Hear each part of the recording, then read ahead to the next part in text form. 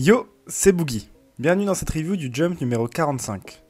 Un numéro qui accueille Mashal en lead color à l'occasion, comme la semaine dernière, du Jump New Generation Boost partie 1. C'est aussi dans ce numéro qu'on le retrouve le premier chapitre de l'autre spin-off de Demon Slayer dédié au personnage de Rengoku. Je profite d'ailleurs de ce début de vidéo pour vous rappeler que la moitié d'entre vous regardent les vidéos sans être abonné à la chaîne. Du coup, n'hésitez pas à le faire, ça me ferait ultra plaisir. Ceci étant dit, on se retrouve donc juste après le générique pour parler de tout ce que j'ai mentionné avant et de bien plus encore.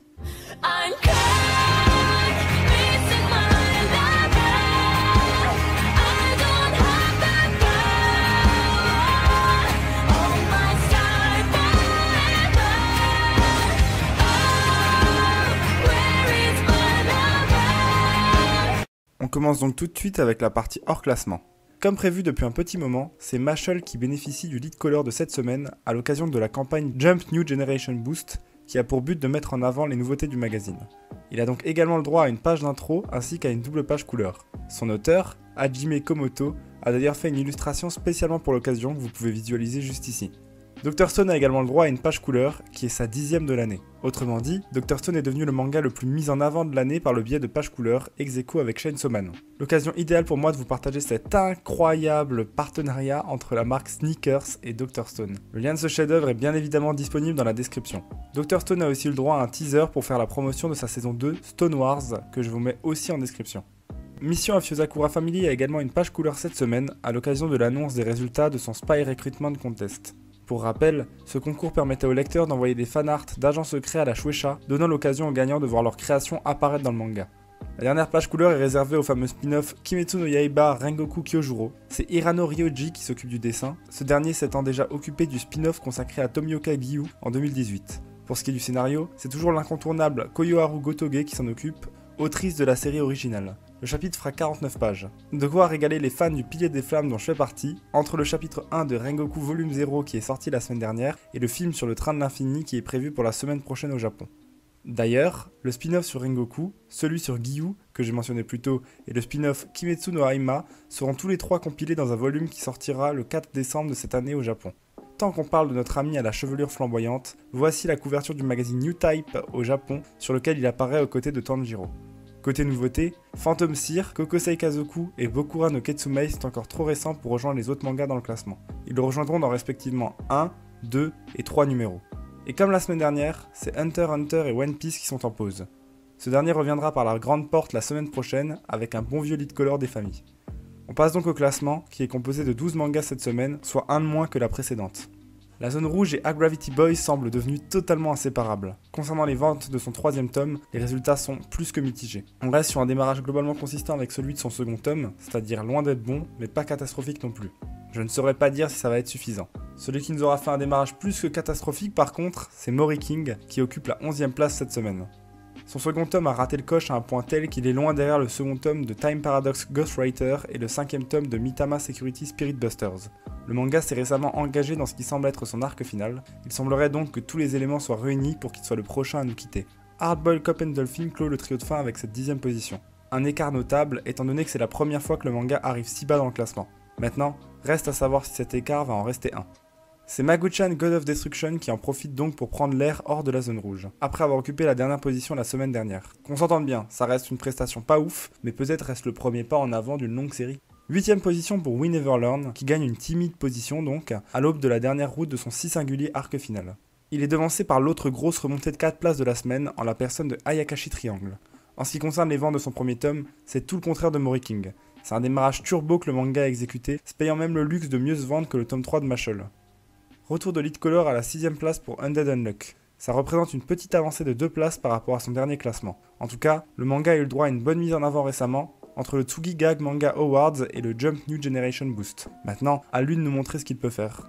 Mien Roboko continue ses performances régulières de plus ou moins milieu de classement avec cette très jolie cinquième position.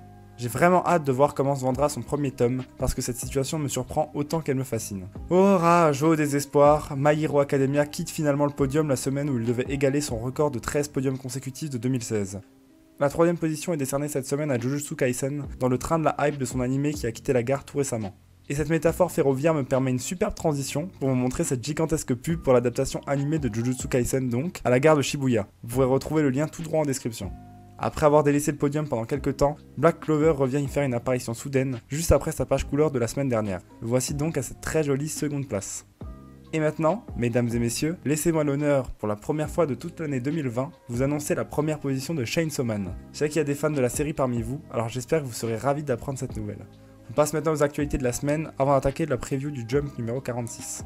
Le temps de ce classement, je pense que certains d'entre vous ont eu le temps d'être en manque de Demon Slayer, alors voici une nouvelle fournée. Tout d'abord, voici la sympathique couverture du Jump Giga d'automne 2020, où l'on retrouve comme prévu le manga en couverture. Il contiendra, comme je l'ai déjà dit il y a deux semaines, des clear files illustrant notre star mensuelle, Kerengoku Kyojuro, ainsi qu'un sublime poster à son effigie et des stickers représentant plusieurs personnages du manga. Au passage, le Jump Giga contiendra aussi ses posters pour les adaptations de Burn the Witch et de Jujutsu Kaisen. En plus de ça, le magazine de shoujo Margaret a publié des illustrations en hommage à Demon Slayer. On y retrouve donc des dessins des personnages de la série, mais avec le coup de crayon de différentes mangakas du magazine. Je vais donc vous faire défiler les dessins en question en citant le nom des auteurs associés. Vous pourrez également observer le manga le plus connu de la mangaka en question. Il y a donc Ayumi Komura, Mika Satonaka, Miko Komuri, Shihiro Hiro, Mizuki Ozino et enfin Mutsumi Yoshida. Et comme je le dis souvent dans cette émission, j'adore voir des personnages que j'aime redessinés par d'autres artistes talentueux au coup de crayon bien marqué, et cette fois ne fait pas exception.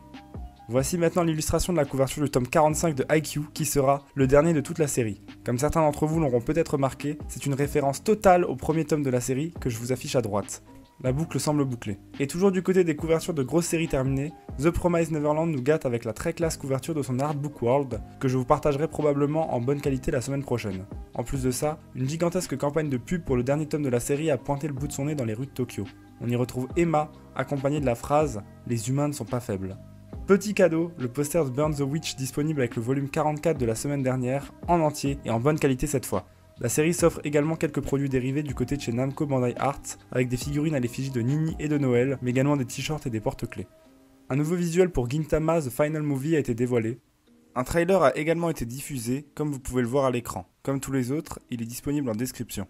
Toujours au sujet de Gintama The Final Movie, le thème principal sera Wadachi de Spire, qui avait déjà fait le sublime opening 13 de la série, ainsi que le dernier ending en date et les openings 1 et 3 de IQ. Le groupe de rock Doz devrait également être de retour pour faire une musique pour le film. Le film est toujours prévu pour le 8 janvier 2021 dans les salles japonaises. Les mangas suivants ont eu le droit à des réimpressions la semaine dernière. Tous les tomes de Chainsaw Man et les 19 premiers tomes de The Promised Neverland à l'occasion de la sortie de son tome 20, ainsi que pour son spin-off comique Oyakusoku no Neverland, que vous pourrez retrouver avec le tome 16 de la série chez Kaze ce mois-ci.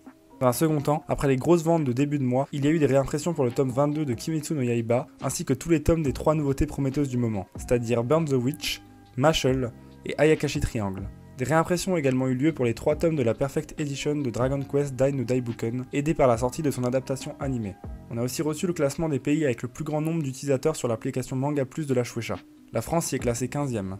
On notera d'ailleurs qu'elle est derrière l'Italie, qui est 11e, l'Allemagne, qui est 10e, et l'Espagne, qui est 5e. Cette haute position de nos amis espagnols s'explique par le fait que les seules autres langues disponibles sur la plateforme sont l'anglais et l'espagnol. En parlant d'anglais, c'est du coup les USA qui sont en première position, devant l'Indonésie et la Thaïlande, respectivement 3e et 2 Étant donné que des discussions ont eu lieu au sujet de Manga Plus en Europe, on verra à quel point le classement sera chamboulé quand plus de langues, dont le français, arriveront sur la plateforme. Akira Amano, le mangaka derrière Hitman Reborn, tease actuellement une annonce qui aura lieu le 11 octobre prochain. Cela fait 7 ans qu'il n'a pas fait de manga. Pour ceux qui espèrent une annonce au sujet de Reborn, laissez-moi vous raconter quelque chose susceptible de vous faire changer d'avis. La semaine dernière, une série nommée Kamono Hashiguchi no Kinden Suiri, par Akira Amano justement, avait été annoncée. Cette dernière devait paraître sur l'application Jump Plus le 11 octobre. Puis, d'un coup, le manga a été retiré du planning. Il se peut donc qu'il y ait eu un changement de stratégie de la part de la Shueisha vis-à-vis du retour attendu du mangaka. Sa série devrait parler d'un détective un petit peu spécial. Enfin, pour finir, voici le gros morceau de la semaine. Le top 20 des ventes Oricon du 30 décembre 2019 au 30 août 2020 par série. 9 séries du Jump ont réussi à s'y frayer un chemin. On a donc Actage en 18ème position qui a bénéficié de son annulation dans des circonstances particulières au niveau de ses ventes. Chainsaw Man en 17ème position avec quelques copies de plus. Les scientifiques de Dr Stone sont en 13e position, ce qui contraste évidemment un petit peu avec les excellents classements du manga dans le magazine chaque année. On rentre donc dans le top 10 avec Jujutsu Kaisen à la 9e position. Je me demande à quel point ses ventes vont décoller grâce à son adaptation. 7ème position pour My Hero Academia, qui avait eu le droit à un coup de main de la seconde partie de la saison 4 de son animé sur cette période.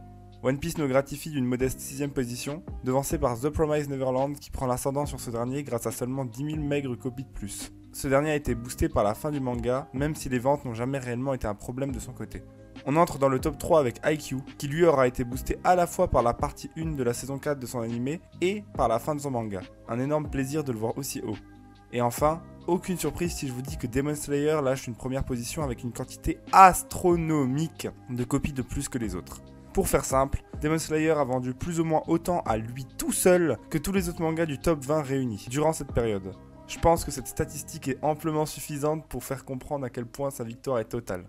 Bon, même si le jump est pas mal présent dans ce classement, la réalité n'est pas si rassurante que ça. Les trois mangas présents dans le top 5 ont pris fin et il en a de même pour Actage. Les résultats de la même période de l'année prochaine risquent d'être moins impressionnants du côté de la Shueisha ou plutôt du côté du Weekly Shonen Jump au rythme où l'on va.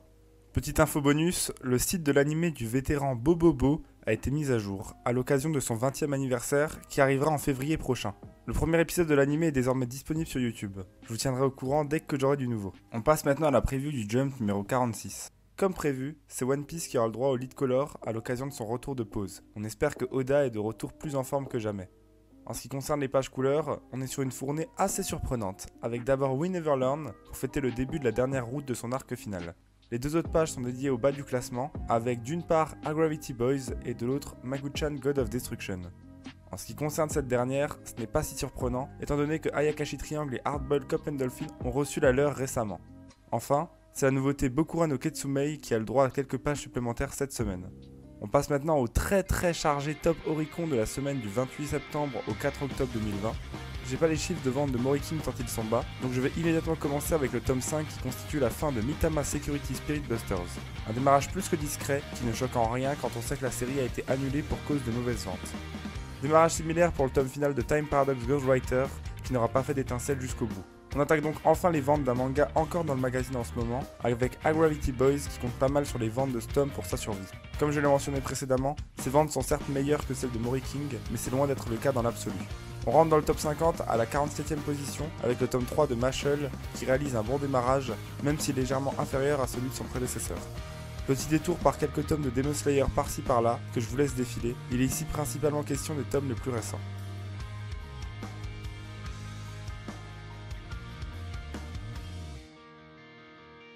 Quatrième semaine dans le top pour My Hero Academia, qui continue à avoir des scores de vente supérieurs à ceux de son tome 27 avec son tome 28. Le statut de nouveauté à succès du magazine est largement piqué à Mashal par Ayakashi Triangle, qui réalise un démarrage avec 33 000 unités vendues. Ce chiffre est notable, étant donné que c'est un des meilleurs démarrages de ces 4 dernières années pour une série dans le magazine. Le nom du mangaka Kentaro Yabuki a dû jouer, étant donné qu'il était illustrateur de Tool of Blue, mais rappelons tout de même que Samurai 8, d'un nom bien plus populaire en la personne de Masashi Kishimoto, ne rentrait même pas dans le top 50, autrement dit, le nom d'un mangaka peut avoir une influence, mais ça ne fait pas tout. 15ème position pour Winneverland, qui fait un bon démarrage, meilleur que celui de ses derniers tomes, mais inférieur à ceux de ses pics de popularité. Du côté de Black Clover, c'est un démarrage moins bon que son tome précédent, de 6000 copies sur la même période de 3 jours, mais meilleur que celui de son tome 24. On rentre enfin dans le top 10, avec le 97e tome de One Piece. Ce dernier nous fait une prestation meilleure que celle de ses deux derniers tomes, mais tout comme l'attaque des titans et Winneverland, le pic maximal de vente de la série est derrière elle. Meilleur démarrage de premier tome de l'année avec Burn the Witch Taite Kubo. La logique est la même que pour Ayakashi Triangle, à l'exception près que la Shueisha a tout de même fait une grosse promo pour le tome, que ce soit dans le magazine, dans les produits dérivés ou avec évidemment la sortie simultanée de l'adaptation en film d'animation. Quatrième position pour Jujutsu Kaisen qui démarre mieux que son tome précédent, même si l'écart n'est pas si impressionnant que ça. Théoriquement, les ventes devraient décoller au fur et à mesure de la diffusion de l'adaptation animée. Le dernier tome de The Promised Neverland arrive en troisième position avec un des meilleurs démarrages de toute l'histoire de la série. Rien de surprenant, la série a toujours joui d'une certaine popularité à ce niveau-là, et là, l'effet de fin de série couplé au chapitre spécial de la semaine dernière lui permet de gagner encore plus en popularité.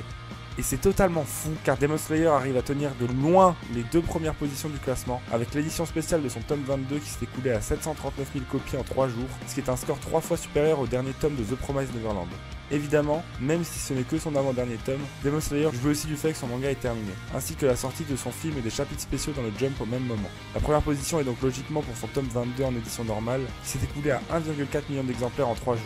L'actuel détenteur du record est le tome 66 de One Piece, qui avait écoulé 2,275 millions de copies en 5 jours.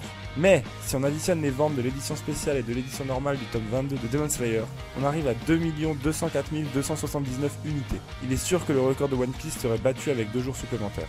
On fait donc face à ni plus ni moins que le meilleur démarrage de toute l'histoire du top Oricon. Suite à cette grandiose nouvelle, la vidéo est maintenant terminée. J'espère qu'elle vous a plu. Je l'ai pas encore tournée à l'heure où j'écris ces lignes, mais je pense que ça doit être la plus longue de la chaîne. N'hésitez donc pas à la liker si elle vous a plu, et surtout à me dire ce que vous en avez pensé en commentaire, parce que ça fait toujours plaisir. La moitié d'entre vous qui regardent mes vidéos ne sont pas abonnés à la chaîne, alors comme je l'ai dit avant, n'hésitez pas à le faire si mon contenu vous plaît. On se retrouve donc la semaine prochaine pour le prochain numéro, qui marquera le retour des pirates au chapeau de paille dans le magazine. Sur ce, disparition